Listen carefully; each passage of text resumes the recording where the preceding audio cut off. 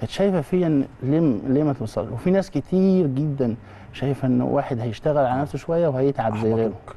آه. أحبطوك. طيب دخلت مستر أو بطولة عالم نقول مستر أولمبيا في في, في الكويت. كان مشارك أسامي كبيرة. اولا دي كانت محترفين ولا هواة؟ كانت هواة في أنا اول لازم تلعب هواة. لازم هواة عشان تاخد كارت احتراف. آه. طيب لما شاركت في أول بطولة اللي بياخد كارت احتراف ده بيقعد له أربع خمس يعني بيج رامي. في إحنا طبعا ليه بنقول بيج رامي؟ لأنه هو يعني آه، صاحبك وحبيبك ونعرف طبعاً، كويس. طبعاً. أخوك أخوك طبعا. وبالمناسبة كابتن محمد يعني اتصل بيه قبل الحلقة يعني كان بيسأل عليه يعني قصدي أقول لك إنه يعني أنتوا بينكم وبين بعض تشابه كبير في قصتكم ولكن آه أنت رحت الكويت آه وبدأت تطلب عايز أخش آه ال- الهواة وبيقعدوا يلعبوا ثلاث أربع سنين هو عشان يخش ياخد كارت. طبعا دي صورة ليك مع صديقك ورامي، بدراوي آه. يعني أسطورتين كبار وقصتين كفاح شباب مصري يعني مكافح. طيب آه قلت أخش الهواة ودخلت خدت مركز تاني. شعورك كان إيه؟ وتفكيرك بقى إيه؟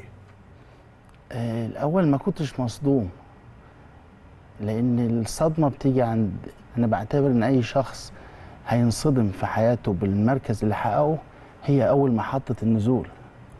برافو عليك. ف- ما حسيتش أنت عملت حاجة لسه؟ لسه. أنا بدأ أنا دوب أنا حطيت نفسي على أول سلم والمشوار لسه كبير. يا كمل يا خلاص لأن خلاص جيت كل ده اتهد. لأن أنا فاكر إن أنا اليوم ده أنا واخد تاني بطل عالم. يعني أنا واخد في تصنف بطولة عالم واخد مركز تاني ولكن معيش ثمن سندوتش بعد ما بروح يا خبر أبيض. فعلا. أنا واقف بطل والناس بتسقف لي بس ما فيش في جيبي ثمن و- سندوتش. وجبتي. مفيش ومش عيب. ولا مش عيب وكنت بالعكس. وبالعكس أنا بذكر النقطة دي لحاجة يا أستاذ. عشان مش ما تفكرش إن كل بطل النجاح مش سهل. لأنه لو كان سهل كان زمان كل الناس نجحت تنجح. الله عليك. فإن النجاح هو طريق محاط بالصعاب وال... وإنك هتقع 100 مرة 1000 مرة. هتقابلك آه، آه، مواقف تخليك أنت عايز تيأس من الحياة بس لازم تتعداها طيب أنت قعدت دخلت خدت تاني أوتوماتيك خدت كارت احتراف خلاص. لا ده أنا أنا ما كنتش أعرف حاجة في الرياضة أصلا في آه ده انت. دخلت كده. أنا ما أعرفش حاجة. ماشي. أنا لعبت تاني مستر أولمبيا خلصت. فضلت تاني يوم رجعت شغلي اشتغلنا. بعدها بحوالي شهر سافرت جنوب أفريقيا خدت بطولة أرنو كلاسيك لا تعالى لي بقى واحدة واحدة ده أنت بتقول لي شهر كده لا ده إحنا هنمسكه نفصصه آه. أنت دلوقتي شهر جبت تكاليف سفرك إزاي؟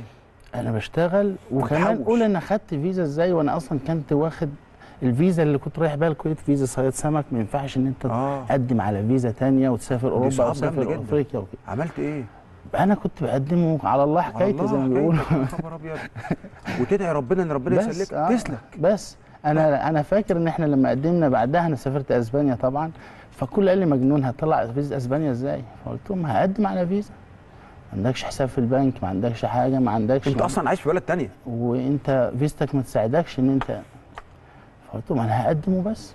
فقدمت وناس تانية اللي معاها الإمكانيات دي فيزيتها اترفضت وأنا فيزتي اتقبلت وسافرت. أسبانيا برضو بعدها. ربنا.